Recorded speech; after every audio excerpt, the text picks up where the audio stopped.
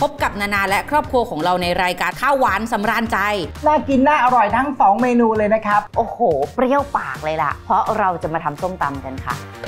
เนี่ย ดูสิเขาก็จะมีกลิ่นไอที่ว่าทรงจำที่ดีอะกรอบจริงข้าวหวานสำราญใจนะครับ บ่าย2โมง45 นะครับ ทางช่อง Workpoint TV หมายเลข 23 ครับ